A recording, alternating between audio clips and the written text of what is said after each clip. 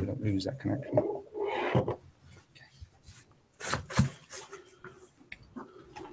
We're Good to go. All right, hello everyone. Um, thanks for joining today. Um, this is the third in a series that we're calling Mission Possible, the Spectrum Repack webinar series. We're going to be starting shortly, uh, probably about 2:05 p.m. Eastern Standard Time. Uh, in the meantime, please hold as we wait for others to join in, and uh, we look forward to bringing you a really great webinar here in just a few minutes. Thank you.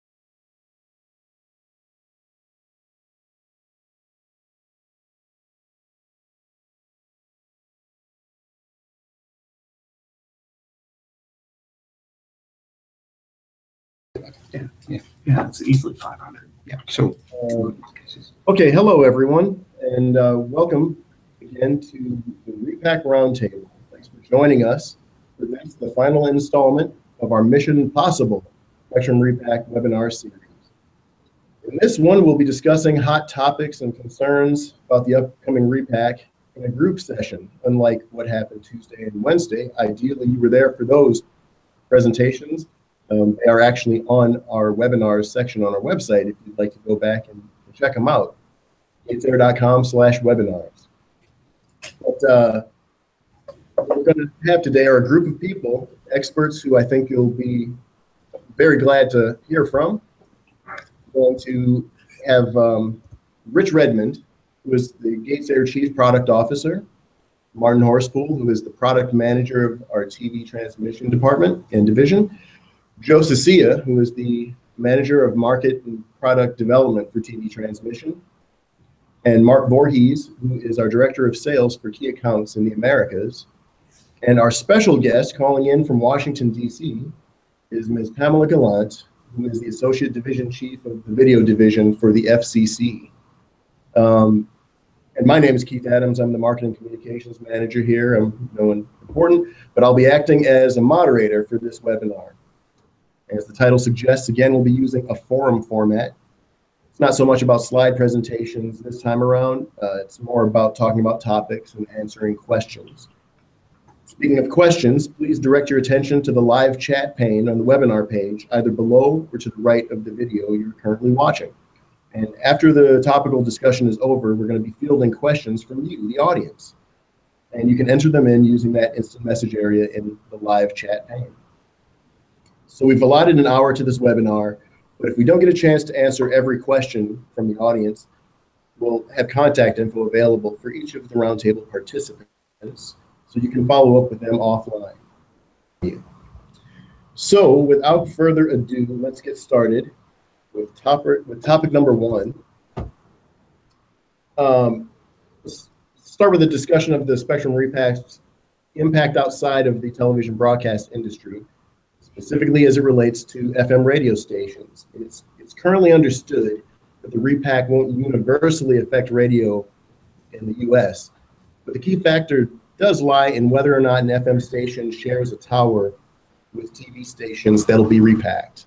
Um, is this accurate, Rich Redmond? I mean, who is likely impacted in the radio world? Yeah, great question, Keith. You know, is is uh, everybody's been preparing and asking a lot of questions over the past year. Uh, you know, if you're a TV station, this has been a hot topic. You go to some radio stations, and you know they think repack is what you do before you go back to college. Uh, but um, you know, look, if you've got shared infrastructure, and there's about 1,300 uh, radio stations that have shared infrastructure with TV stations. Now, some of these are low power. They may be lower on the tower and nowhere near the television aperture.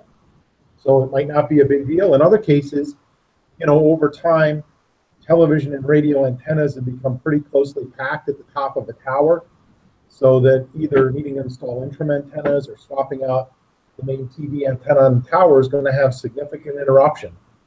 So if you're an FM radio station that doesn't have a non-co-located backup, some you know regional coverage backup at another location, then uh, this could be a challenge for you during the time that there's antenna work going on or structural work on the tower.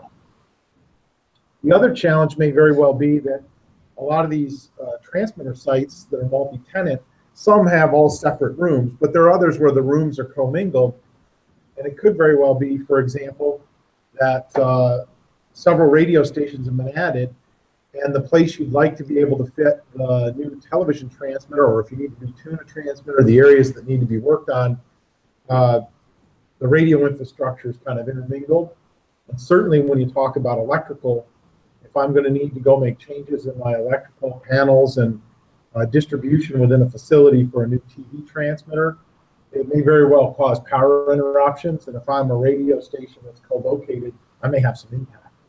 So for most part, I've been getting a lot of questions. The, the clear guidance is, look, if you're an FM radio station, you're co-located, the first thing you ought to do is, is go have a discussion with your tower landlord or with your other tenants, the, the other broadcasters, uh, and engage them in a conversation about what the repack plans, you know, that they can share might be.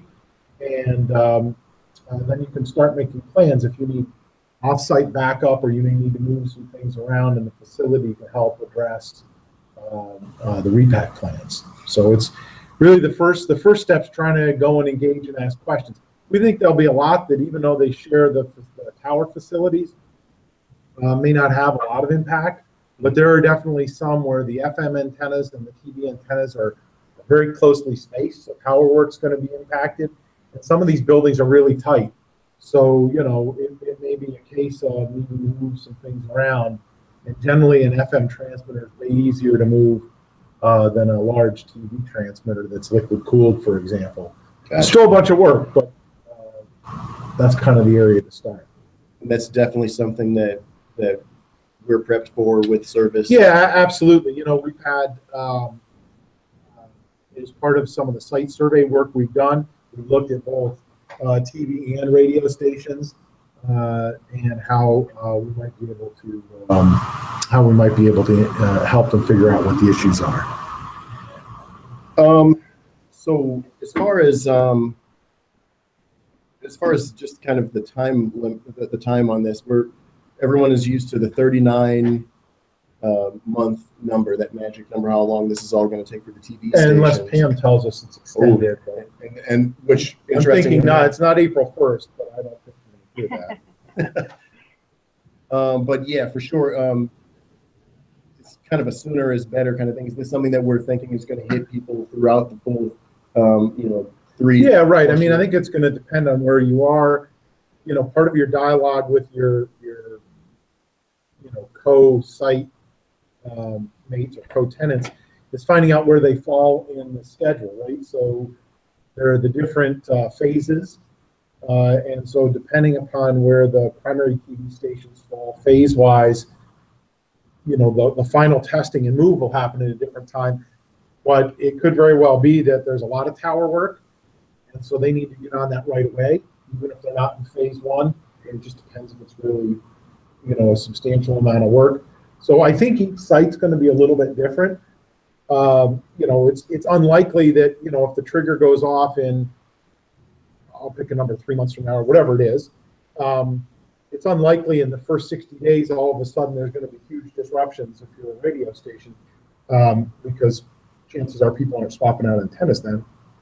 But absolutely, uh, the sooner you get on it, uh, the better. And uh, look, if you're an FM radio station, you're co-located, you need some help in planning, uh, then by all means, uh, we'll be glad to uh, help with site surveys or something. Awesome. Uh, let's, uh, oh, go ahead, Mark.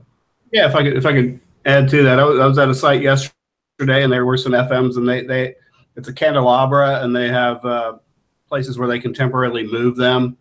Um, but I'm curious, since we have Pam on, is I don't think that any of that is in the Widelity catalog. Who's responsible for filing those costs with you all? And is it the radio station or the television station that has that responsibility?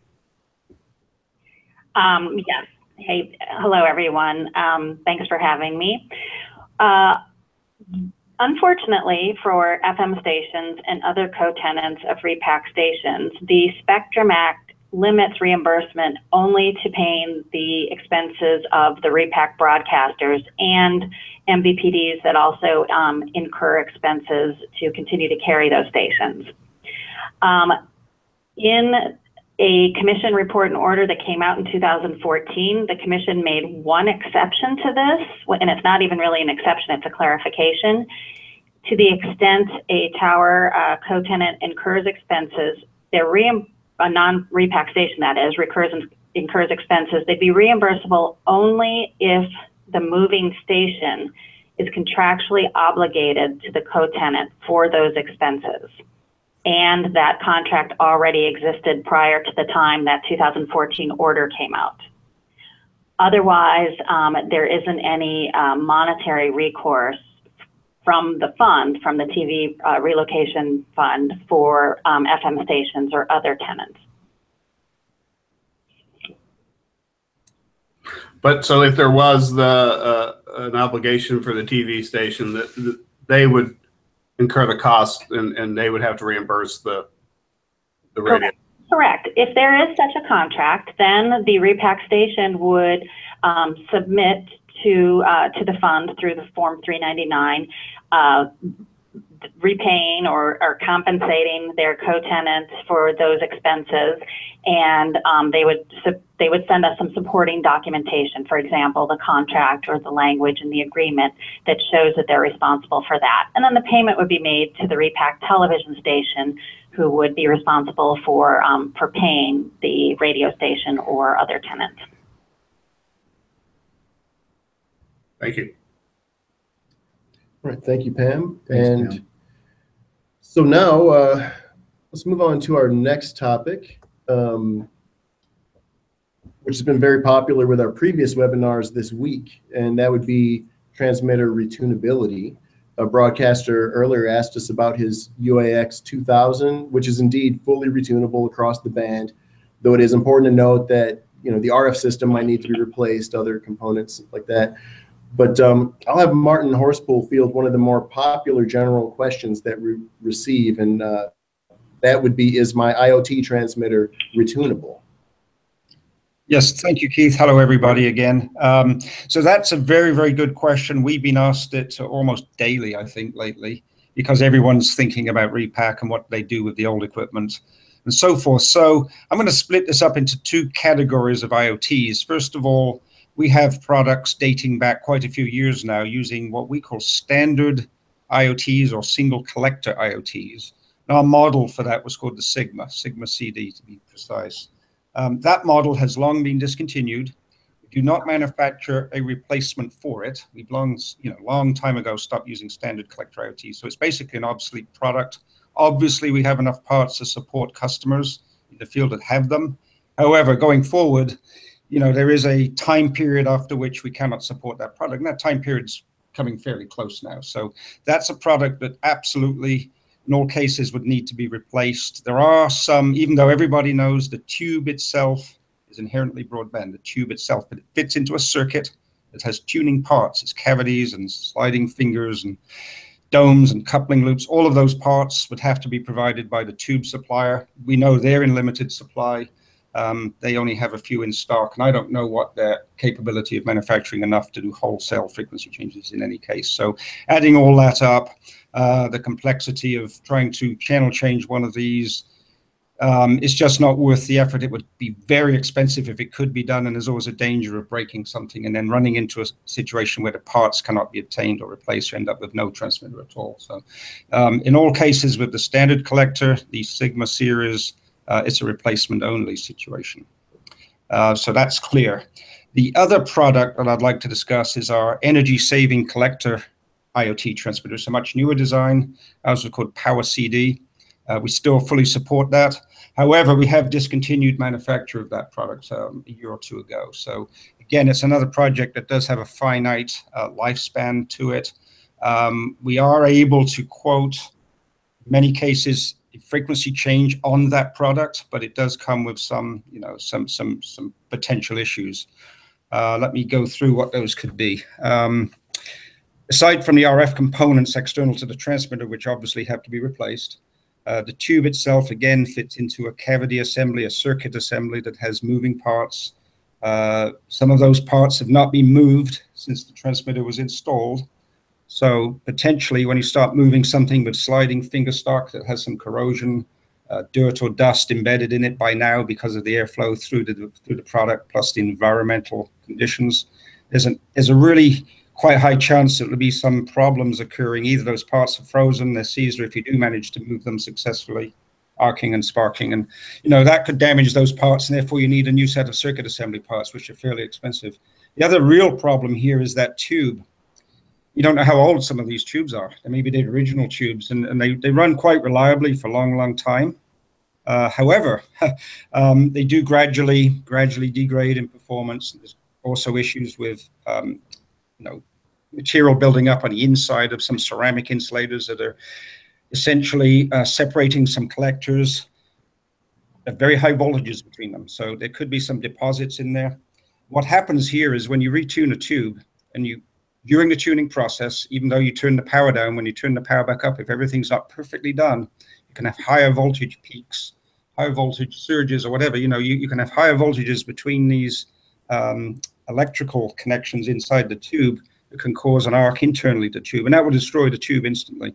So in all of any quotes that we've done, I understand, Mark, you can correct me if I'm wrong, but I think we've we've actually included new tubes in our quotes. So it becomes a very expensive frequency change procedure. Yeah, we, we feel that it, it because of the risk involved in retuning and tubes sort of being uh, in my mind a little black magic and they, they kind of when they settle in on a channel they, they're happy there and if you try and move them, they might not be as happy when exactly. they wake up. Exactly. Um, and because of the duration of time it takes to get a tube now, like six months probably, that it would be irresponsible to attempt a channel change on a tube without having the tubes there to. So there'd be some it. lead time issues with that. So you need right. to order that early if we you are going to attempt it. We wouldn't want to take somebody off the air for six months while we mm-hmm. waited on it tube. No. So that's that's really the issue there. So, you know, we, we would offer a channel change. Our service department can do all the work, but it does need to be done well in advance. We do need the tubes in there, potential circuit assembly and cavity loops and domes and other parts and pieces. Plus, there's an RF breakaway with a with a low pass filter that might need to be changed. The circulator is still involved. There's other bits and pieces too, as well as the obvious external parts. So it can be done. It's not highly recommended. Uh, the other issue that we were talking about just before this meeting is the fact that if you need to do a frequency change, it's quite time consuming. You don't want to do it well ahead of when you really have to change frequencies. And the problem is going to be coordinating that with adjacent stations in the same market, all having to change. You don't want to retune it, go back to original channel and then retune it again. That's not really practical. That would triple the expense and triple the chances of having a, a problem. Any more comments on that point, Mark? I mean, that's yeah. I mean that yeah. that kind of limits the um, you know we're quoting them and um, but logistically the stations are going to have to figure out how that how that all works out um, you know maybe they have a full power backup and then in that case that's a viable solution there are some stations that could do it but it's not necessarily a good answer for everybody to try this i right. think that's, that's our generalist so iots kind of just to summarize earlier models anything with standard collectors we're, we're not we're not even quoting replacements for those so we are you know, we're quoting solid state replacements. The energy saving collectors, the power CD versions, we will do it on a case by case basis. I think that's the summary. And just contact us if you need more details. Awesome. It, so, assuming people have newer gear and they're they're in a solid state mind already, what other parts of the RF chain um, you were mentioning on mm-hmm. Tuesday that people want to think about, like you're saying, like their RF filters, low pass filter, whatever. What what kind of culprits should they be paying attention to in the, in the pre-planning? Right. So that's a very good question, Keith. So um, we have more than one version of a low-pass filter, or often called a harmonic filter. That, that falls into at least two bands in our products. So you've got to look at that, make sure you're in the right band. That could have to be changed. We have matching sections in some cases with you know tuning sections, if you want to call them that, for matching out the internal line. Those would need to be adjusted. They don't necessarily have to be replaced. Uh, we have dummy loads or test loads. Those again are inherently broadband, but most of those have some kind of matching section in front of them. So it has to be swept and retuned. It's basically a service service job. Now, obviously, the mask filter is an item that in most cases will have to be replaced. There are a few newer products out there that have tunable filters, but that can easily be looked at. We can help the customer determine if what he's got is tunable or not tunable very easily. Most cases, the high power filters that are out there are not tunable at all, not even one channel. So those have to be replaced. Uh, if you have a combiner of any sort, including Magic T or standard hybrid combining, lots of those, well, all the Magic Ts have to be replaced. Hybrids may have some broadbandness to them, but again, we'll have to look at the specifics to make sure the hybrid combiner would work or not work on a new channel. I would say in nearly all cases that has to be replaced as well. So pretty much everything inside the building, except for obvious pieces, things like elbows, coaxial elbows and things, straight sections of line, if they're of a length that's reusable, which is unlikely, could be reused. So in generally, in generally, we're quoting all new internal RF in every um, frequency change quote.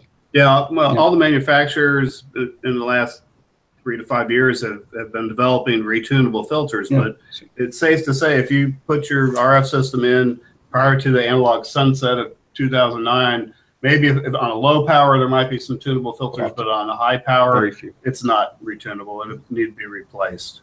Yeah, I'd say in almost all cases, those those mask filters need to be replaced. In almost all cases. Okay. Well, definitely. Thanks, guys. Um, so let's uh, move on to topic three, which is the post-auction transition timeline. So we know that March 30th is the final day of the long but ultimately successful FCC incentive auction and now people are starting to ask, now what? You know, and uh, but here's some popular concerns about the timing. Um, Pam Gallant, would you be able to speak a bit on some important upcoming milestones uh, that might be set? Sure, I'd be happy to. Um, so after the, that auction ends, uh, the March 30th date, the next big milestone will be the release of the, the closing and channel reassignment public notice.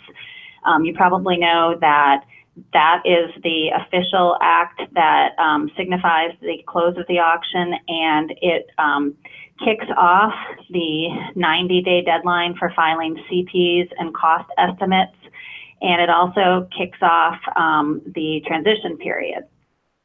So that that is that is a big big date, and you that you should look for that sometime in April. Mm-hmm. Um, if you've been following uh, FCC news, you know that a transition plan um, PN was released recently. Um, there will be construction deadlines will be given to stations within a phased transition schedule. Um, phased approach was adopted to address issues of interference and in an attempt to facilitate um, the efficient use of resources. There will be 10 transition phases.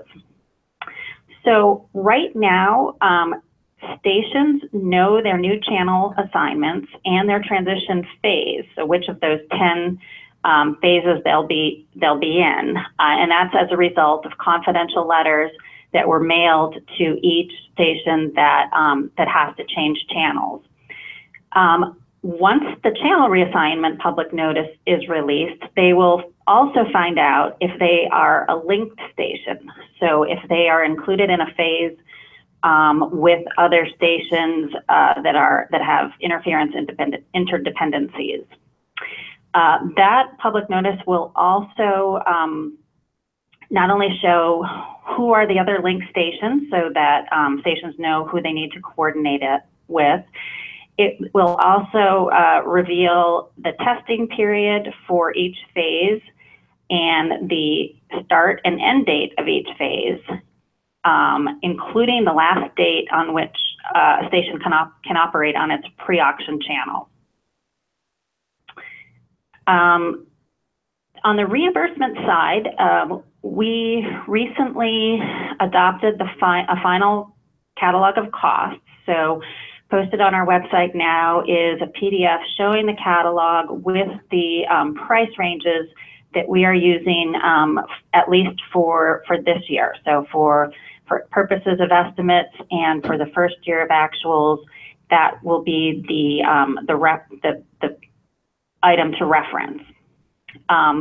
Probably many people have heard of Form 399, which is the reimbursement um, form. Many people might have might have also actually had the opportunity to look at the online form. We held a, um, a beta test for interested parties a few months ago and got some very good feedback from users, which allowed us to make some improvements. You know, it's funny form is that's that's topic number four. Is, is oh, did I skip ahead? Um, oh, well, you know, honestly, feel feel free because I'm sure that that I'm sure no one's really interested in in relocation expense reimbursement. but yeah, definitely do it. This is this is your show. Okay, I'll just I'll just say a little bit more about what's coming up on the reimbursement front, and then I'll I'll turn it back to you. Um, so the online Form 399, which is the system that stations will use to file their estimates and also to submit their reimbursement requests throughout the reimbursement period. Um, that's not currently available, but we're very close. It will be available um, online prior to release of the channel reassignment public notice. So watch for a, a public notice announcing its availability probably later this month. Um, on that note, I just also want to say that from the time the Form 399 system is open until the channel reassignment PN is released, stations will be able to log in and save their information so they can already start working on getting all the information they need for their estimates. But they won't be able to certify or submit that information until after the channel reassignment PN comes out sometime in April. After that point, they can go in, they can save, they can certify and submit their estimates at any time um, as well as sort of all the background information that's required, contacts and things like that. But they will only be able to save actual reimbursement requests. So to the extent that a station has already incurred expenses and has the invoices and is eager to submit them, they can go ahead and save those after the channel reassignment public notice comes out but they won't be able to actually certify and submit those requests for reimbursement until after we make an allocation for their station, which of course can't happen until we have all the estimates in at the 90 day deadline. Okay.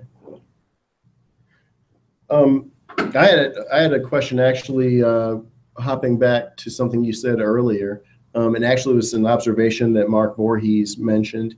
Um, you were talking about how everyone has gotten assignments and they're aware at um, where they should be as far as in those uh, transition phases.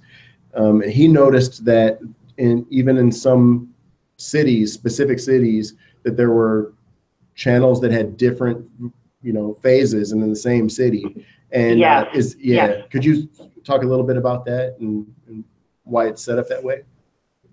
Well, it's super complicated. Um, and if anybody, you know, if, if you, it, the PN actually, I think, is very well written that explains um, how this came about. So if, if you have time, it, it is good reason, good reading.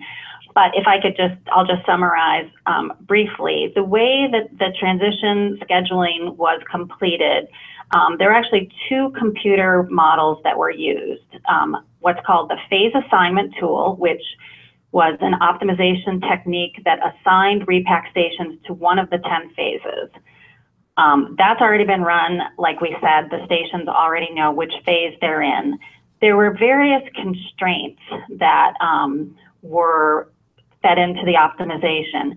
One of which was that um, there would be no more than two transition phases within a DMA. I know um, the optimization team considered keeping, um, you know, having all stations in a DMA change within the same phase. That just was not workable given all of the interference um, constraints and concerns. Um, after the um, so the phase assignment tool has been run, and like we said, stations know um, which phase they're going to be in. They're currently working on the sort of second component, the phase scheduling tool. This looks at availability of resources, especially when resources are constrained, like tower crews, and um, sort of simulates the time required for the stations in each phase to complete their transitions. That's ongoing now. Um, that is that's why we don't know the specific deadlines for each phase yet. Um, that will be announced with the channel reassignment public notice. But yeah, there, there, there were a lot of factors to consider. Um, I know the team that worked on this, you know, looked at a lot of different options in terms of how to make this efficient and fair. Um, and again, uh, you know, I refer you back to that public notice for um, from, for some good reading on, on how they considered and what was ultimately adopted in terms of, of phasing the transition. Okay. That, it sounds like the intent and purpose for sure is to make sure not everybody is trying to get theirs, you know, right at this exact same time. It does seem like a nice way to interleave some of the tasks between different stations. Um, yeah, again, you know, I'll let people do that reading and, and offline, definitely you'll be able to contact the people here, and we'll also have resources that you can look at um, at fcc.gov. We'll show them to you um, on request. Um, and I guess the final question that people have asked really is, um, what kind of flexibility um, does the FCC anticipate um, is built into the, the transition timeline? I mean, how hard a stop does the FCC anticipate with the with that 39 months or, or even in earlier milestones? Right. Well, yes, I guess we should talk about, you know, earlier milestones since there will be, uh, you know, many, many stations that have deadlines um, well in advance of the 39 months. Mm-hmm. Um, bottom line is that any proposal or any request for flexibility or any waiver request has to show that it's not going to disrupt the transition. Um, and and there, I think the PN makes it very clear that sort of creative alternatives or suggestions are welcome. Um, the any request to change a station's transition phase, either to move up to an earlier phase or push back to a later phase, will be reviewed for the impact on the overall transition schedule. Um, to the extent that the station can show that um, its request does not impact the transition, it's likely to be granted.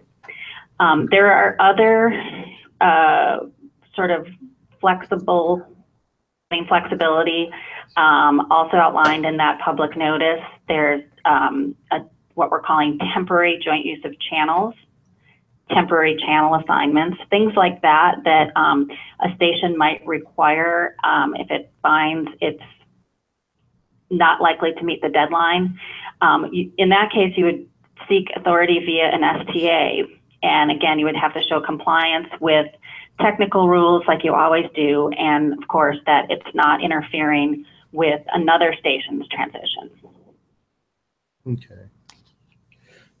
Um, I think we're going to move this along. I, you were able to talk a bit about Form 399, and I know that there's actually a, bunch of questions that are coming in that we're going to deploy here at the Q&A session at the end of these topics. But we'll go actually to the final topic, which I think is also very interesting to everybody here.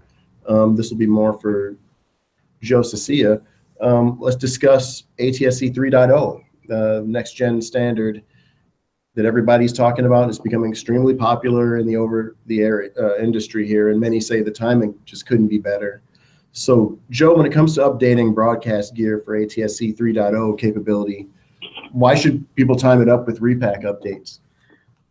Well, thanks, Keith. Um, I think the, the common school there is, is that while, while all this work needs to be underway in the first place, uh, go ahead and, and plan to be future-proof um, and, and, you know, put uh, some extra investment in, in your antenna system or other parts uh, that you're touching anyway.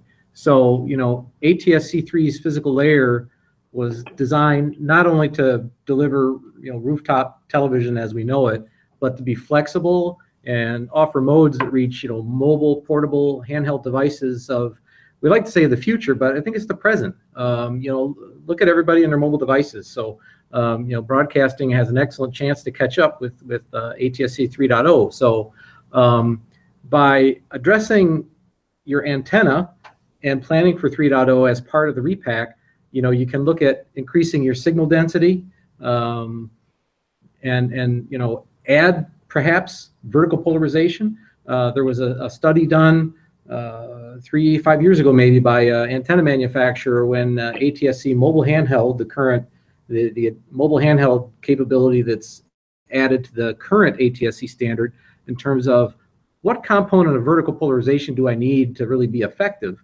And the outcome of that study was that it was a, uh, on the order of one third um, was almost ideal. So a vertical polarization, I mean a, an elliptical polarization versus a, a complete circular. Um, however, I think we understand that the, uh, station is not going to be reimbursed for that. But if you can get a baseline cost for your replacement antenna and then get the delta in cost to add the vertical polarization, and the station foot the bill for that vertical polarization adder um, could be in the end less costs than if you were to do it all over. So while you're in this construction and rebuild phase, future-proof it. Uh, on, on, but again, it's, at, it's going to be at station's expense. Um, but could represent, you know, a substantial long-term savings in the in, in the actual outlay. Um, the other thing to consider, uh, it's been quite popular, is SFNs uh, with ATSC 3.0. And 3.0 is OFDM based. It, it, lends itself naturally to an SFN architecture. Um, and there's been um, uh, a lot of proposals out there about putting uh, transmitters at the edge and pointing inward and so forth. There, there's a there's a lot of different architectures that, that one could put on for uh, to get an SFN architecture um, and it can be uh, done with, with gap fillers as well as dedicated SFN transmitters. Um, and by looking at an SFN architecture, you know, what you're doing is, is you're, you're putting a, a more uniform signal. It may be a little bit lower power, but it's more uniform to better serve mobile and indoor devices. And that's the key thing. Think of cellular towers. There's a lot of them, and they're lower, and they're lower power but the, the signal is, is, is, is uniform where it is, or much more uniform, excuse me. And, uh, you know, the, the FCC allows SFNs through its distributed uh, transmission rules back in 2008. Um, it's FCC uh, 08256A1. Um, there's rules there to, to put on SFN networks, and, and there's, there's key things. There'll also be a paper, I think, given at the NAB about this, um, in that, you know, you can't expand your coverage. You can't put in uh, an SFN to cherry pick a new uh, a new part of the neighborhood that is not served by your old tower.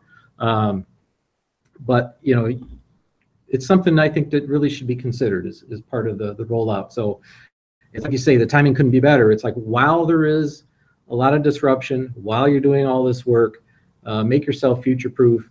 And the, the fact that the commission has recently uh, you know, ruled that the ATSC 3.0 is going to be allowed on a voluntary basis, I think opens that up.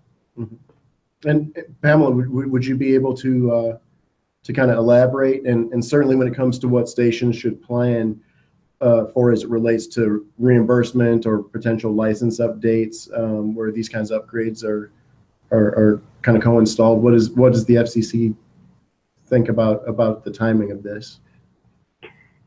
Yes, well, um, as you know, there are some experimental licenses that have been granted to um, to test the the um, to test this this new um, standard. Um, and there was an, a notice of proposed rulemaking put out on 3.0. So adoption of the standard as broadcasting, which has been requested of the FCC, is is on its own um, forward track. And um, you know, I have no estimates in terms of timing, but um, I, I, think it's fair to say that it that it is underway and, and well on the way. Um, in terms of coordinating with the repack, um, you know, I've heard many stations interested in this, and it does seem like uh, an extremely, uh, you know, happy coincidence that uh, so many stations will have to replace so much equipment at this point, and um, we'll be able to look to this new standard and to, um, you know, their uh, their goals for the future, um, and you know, purchase the equipment that they that they need to to meet those goals. I think the nice thing about the um, the reimbursement uh, regime that the commission put in place for repack stations is that um, you know we, we are not going to be judging what a station can purchase and what they can't purchase. Um, you know, I'm sure it seems like there's a lot of sort of pent up demand for new equipment. People have been anticipating this auction for several years. There was the freeze even before that. Um, so it's not surprising that many stations are looking to purchase new equipment and, and want to make it as state of the art as possible. Um, it's true that not everything would be reimbursable. Um, things like uh, e-pol, things like increased power for purposes of 3.0 um, would be considered upgrades in most instances. Um, but again, it does seem to make sense. And from what we're hearing, a lot of stations are looking at this very closely to make sure that they're taking advantage of um, the efficiencies and having to replace their equipment and, and um, complete construction just the one time. That's that's good to know. That that is probably makes people feel a little better. sure. Um, so I, th I think at this point we're going to uh, jump ahead to questions and answers from the crowd. And thanks everybody for their participation uh, with the topics. The, the insight and information is awesome.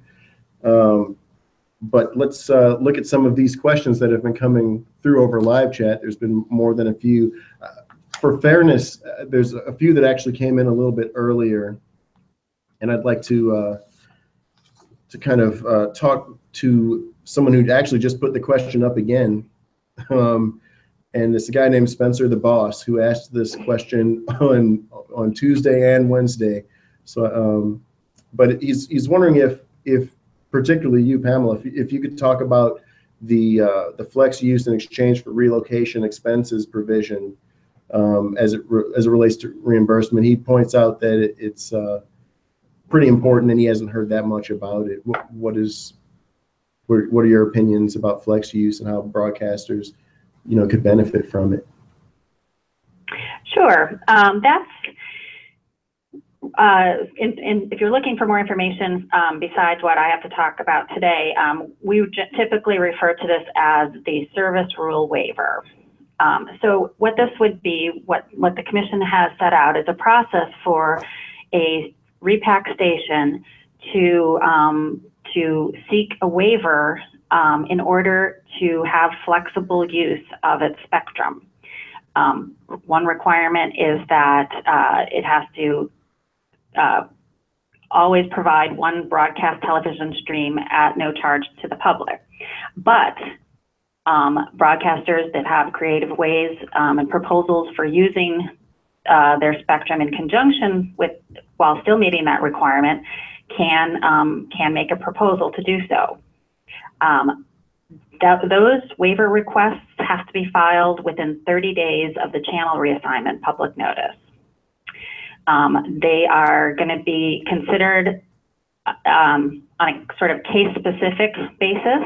Um, again, we need to see the specifics of what the uh, what the station is planning. Then um, the station will be told whether its waiver request is granted. If so, it will have 10 days following uh, notification that it was granted to accept the terms of the waiver. Um, then if the station decides to go ahead, if it's granted and they accept, the, um, the station would gain the flexibility that it's requesting. However, it would forego um, reimbursement for its repacked, uh, for any expenses it would incur as a result of the repack. Okay. hopefully, hopefully, excuse me. Hopefully, that's very much the answer you were looking for, Spencer. Um, there's um, there's actually one more that came in um, earlier that was a from an anonymous source, but um, there was a scenario also for FCC to ponder. Consider a station that would be in phase five and they move to a new physical location before phase five starts. They buy a transmitter today and tune it to their current frequency. When phase four hits, they retune it to the new frequency and swap or retune the mask filter. Is all or any of this reimbursable? That sounds um, like it may be a fairly common scenario, um, and, it, and it, it does sound like uh, a plausible transition plan, um, which would make the uh, you know the the equipment reimbursable.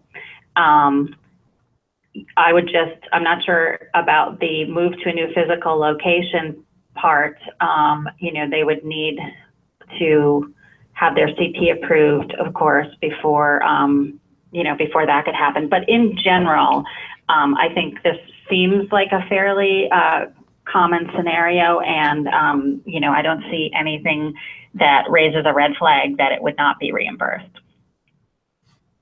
Okay. Um, well, on to the questions that are in the live chat proper. Um, asked, I will be interested in hearing about the testing period. How can this be done if a station has a single transmitter that's being retuned and antenna and mask filter that are being replaced? And if testing, if the testing period requires a second transmitter, how do we encode PSIP in different TSIDs? Um, who wants to field that? Well, on, on, the on, I guess maybe uh, Pam could field on the, the testing period part, uh, but let me uh, try and address the, you know, PSIP and TSID. Um, I, I would, not the expert there, but I would hope that that's a, a simple case of changing um, what you need to in the, in the PSIP generator, right? But there, I would think there's got to be some public service announcement or something on that order to alert the market to rescan to get it right.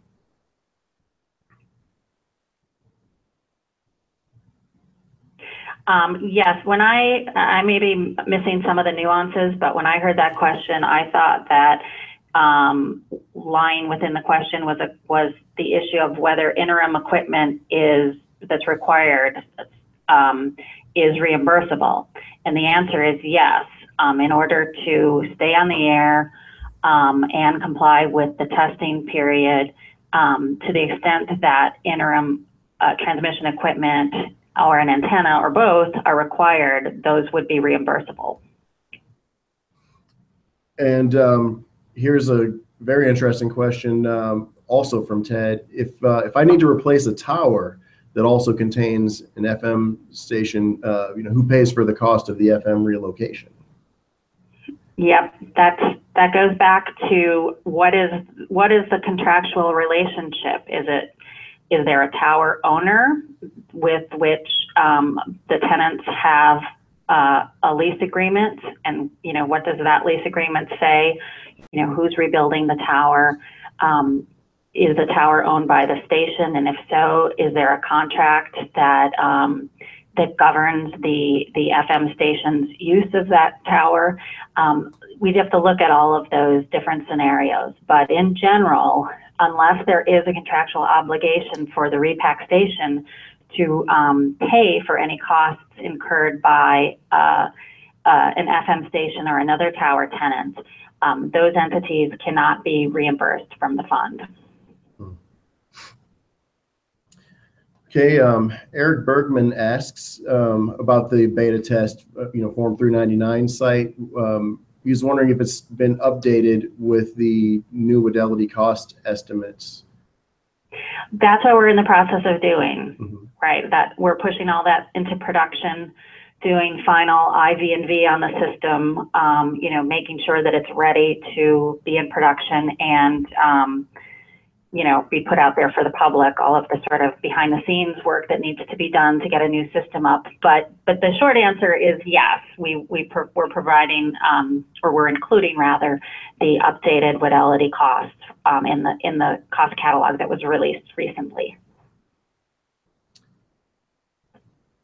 Um, uh, yeah, PSO asks how much optimization um, and channel changes from what we were assigned do you expect? And I, I suspect that's a question also for Pam. Uh, well, I mean, channel channel optimization has already occurred, right? The the repack itself was optimized, and um, the goal, the first consideration was to uh, have as high a number as possible of channel stays. So that has already occurred. Um, is there another? I'm not sure if there's another context in which this question's being asked. Um, we may scroll down a little farther. Yeah, I, I don't know, Pam, if that's related to antenna patterns or, you know, other coverage optimization from a specific site on a specific channel versus what might be originally planned. I know we've had some customers ask about that, that, Oh, I, I'm, I'm sorry. So, so are we talking about a um, particular station's, um, you know, uh, desire to sort of maximize on their new station or uh, expand their facilities? Could be. Yeah, we uh, certainly Okay, let's, know, the let's say last- that because I. yeah, yeah, yeah, it could be, but it I haven't- also, it also could be that perhaps the, the, the attendee's question is with respect to, it's, like you said, it's all been optimized and, and assigned now, but it may be a, a what if, if the consult, their consultant, uh, comes with a different answer, or the reality is different than was planned, you know, what can be done there? Okay, well, that's a, that's a great, that's a great tee up for me because I have not yet talked about the, um, the post, uh, channel reassignment PN windows that will be opening. Um, there are, there are opportunities to, um, expand facilities. Um, there's going to be a, an initial priority window if, for any station that, for whatever reason, um, can demonstrate that it cannot construct its, um, you know, on its post-auction uh, channel assignments. Um, those, the timing of these windows will will be uh, announced in the uh, channel reassignment public notice. But that first priority is for um, stations that that feel that they cannot construct, that they're having some serious problem. Uh, later, a second window will open um, that is um, that is for um, sorry that is for stations that wish to expand their fa- facilities or maximize coverage. And that's when you could come in and you could show that your um, antenna pattern you know uh, could be used for for some sort of expansion. And um, from what I understand that's a fairly um, common procedure and that it would be the the um, the the request would be granted if um, you know if it's consistent with the with the um, interference uh, rules. Um, here's a, another question for you, Pam. Um, when will we know when our plan is accepted by the FCC and is a reimbursable plan and, and who specifically is making that decision? We are going to look at all the estimates that come in. Remember, those will all be coming in within the 90-day um, uh, period following release of the channel reassignment public notice. Um, we will have our newly hired fund administrator. Um, we've contracted with Ernst Young to serve as, as that role, and they will be doing um, the first line review of all of the submissions, so estimates and actual requests for payment that come in later. Um, we will, you know, there will be a dialogue. They will be reaching back to the station with questions. Um, a station may be asked to provide some sort of supporting documentation, especially in a situation where um, they are, you know, they're seeking a piece of equipment that's not reflected in the cost catalog, or they've got some other sort of special circumstances. I mean, certainly all of the complex um, sites will probably require some explanation um, in terms of uh, the fund administrator understanding the, um, you know, the station's plan and taking a good look at its estimates. Um, at that point, we will be making an allocation based on the amount of the fund that we have available to um, to to allocate for each station, and um, that will serve as sort of an initial budget to get the station started. So the station will there'll be an amount reserved for each station's project, and they'll know that they'll be able to sort of draw down against that amount um, and as they start their construction.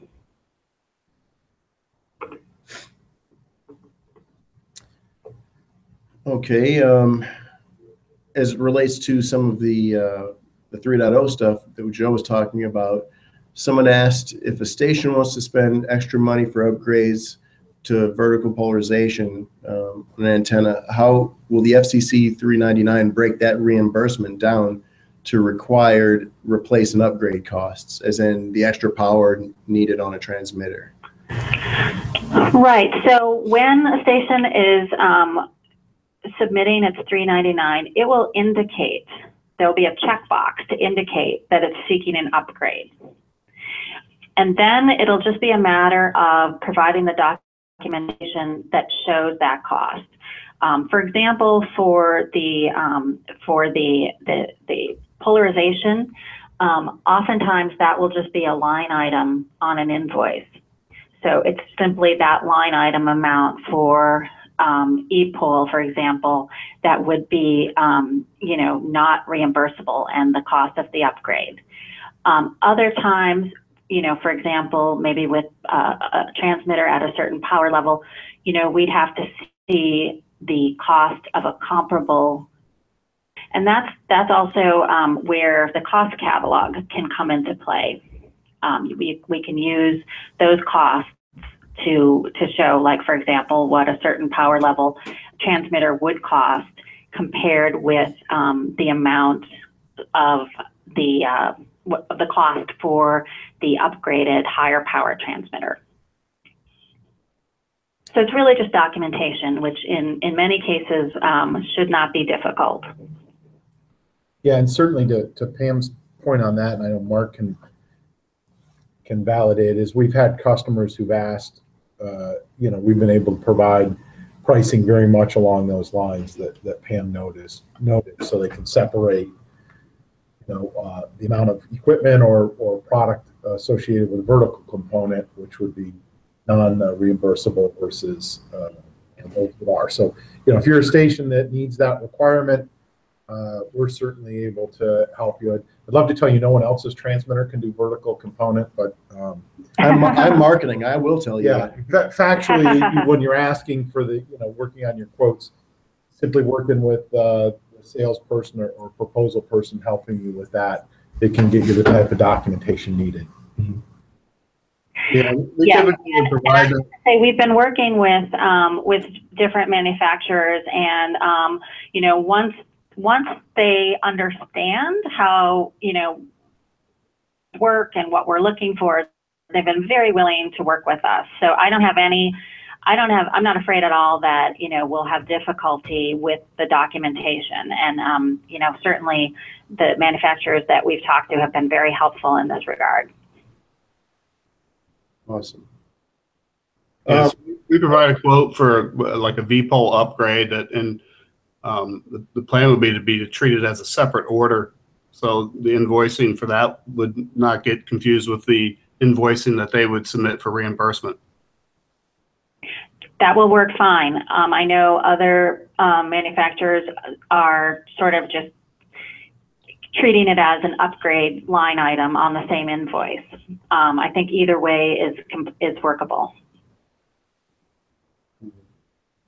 Well, right now, um, it is 3:02. I, uh, we have a lot of questions on the list, but, uh, to- to be fair, we, we should probably only leave a little bit for probably just two more questions. Um, but definitely, if you want to reach anybody here offline, uh, stick around. We're going to give, uh, contact information. Um, we have a question on a tower where two stations, one in repack, the other not. Um, should the tower loading issues cause both antennas to have to be replaced? Um, is the station reimbursed for the non-repack station? Um, and there's actually a second part to that question too. Um, also to make the loading work for the G standard, a smaller gain antenna, would that have to be used? And can we be reimbursed for a more expensive transmitter or more TPO? Okay, well, there's a lot, there's a lot in Yeah. that, those few sentences, and I'm not sure I'm going to be able to, you know, give an opinion on whether in a particular situation, um, certain equipment is reimbursable, but I will go back and reiterate that, um, a non-repacked station, television station, an FM station, another tenant that's affected by the, um, by the repack is generally um, not eligible to be reimbursed from the from the TV broadcaster fund. Um, again, the exception is if the repack station has a contractual obligation to um, to pay for those types of expenses. So Pam, um, just out of curiosity, and, I- and I don't know if that's this particular, um, you know, person's question, but, uh, it, you'd mentioned earlier about you would pay for upgrades for certain things if it was actually less expensive than making other changes. So for example, if simply changing the antenna for the repack station that moves, but there's structural reinforcement that needs to be done to a tower, uh, to accommodate that, if it actually was less expensive to replace uh, that antenna and the other antenna in the tower and avoid the, the tower uh, structural work, is that something that's potentially uh, reimbursable? Yes, we would have to look at this on a case by case basis, but yes, we you know we're open to um, to creative ways to save time and money like that, as long as they can be documented, um, and as long as um, you know they don't they don't sort of violate any of the uh, parameters we put around the reimbursement Right. program. But certainly, we would welcome um, a discussion from uh, the you know in those types of situations. And um, you know, like I said, when I was talking about the review that would be done um, of the submissions that come in, some will be you know fairly straightforward, and other times we'll have to go back to the station. We'll have to you know maybe review its engineering plans, maybe have discussions. And this certainly sounds like one of those um, those complex situations where we would need that back and forth. But as you say, in the end, if it, if we could find a more efficient and less expensive, um, you know, alternative to just sort of ticking the boxes, we would certainly be open to that. Thanks. All right, um, and, uh, it- it's three oh six right now. Definitely appreciate everyone's time and involvement. Um, I, I don't want to, to keep Pam Gallant here too much longer. Um, if, if people have questions for you offline, how would they be able to contact you? Actually, everyone but first, uh, Pam Gallant, how would, uh, you like to be contacted if you have questions? Sure. I, um, I'm, I'm happy to take emails. That's usually the best way to, um, to reach me. And my email address is pamela dot gallant, that's G-A-L-L-A-N-T, at fcc dot gov, G-O-V.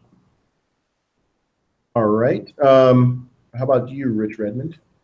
Uh, it's pretty easy, just rich at gatesair.com, and I'll be glad to field any questions. Joe Seccia. It's J S E C C I A, J Seccia, gatesair.com. Martyn Horspool. It is Martyn, M A R T Y N dot Horspool, H O R S P O O L at gatesair.com. And last but not least, Mark Voorhees. That would be M A R K dot V O O R H E E S at gatesair.com. Um, and if for some reason you'd like to contact marketing, in fact, we would appreciate uh, any kind of feedback and info you've got on topics you'd like us to discuss in the future in webinars and or podcasting. Um, feel free to email marketing at gatesair.com or Keith Adams, K E I T H dot A D A M S at gatesair.com as well. Um, and the, the URL on the screen right now should also get you in touch with all of the webinars that we've done this week and in weeks prior. A lot of great information in our video library. You can also visit our YouTube channel, uh, youtube.com slash user slash gatesair.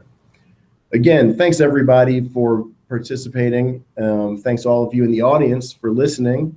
And uh, we, we really hope that you got some great things out of this as we appreciated sharing our information with you. Um, thanks again to Pam Gallant for taking the time out. And uh, yeah, we definitely look forward to letting you know about the next webinars that we've got. In the meantime, have a great day. And from GatesAir, uh, we thank you again for the Mission Possible Spectrum Repack webinar series success. Have a great day. Thank you. Thank you.